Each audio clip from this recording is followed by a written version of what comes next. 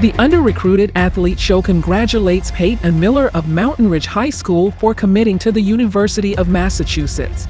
Miller was a dominant force on the offensive line for the state finalist Miners, who were the most balanced high-scoring offense in MPSSAA history. Miller was instrumental in both the run and pass blocking schemes and was selected to the All-Area team for a second year in a row. Let's congratulate Peyton Miller on a great season.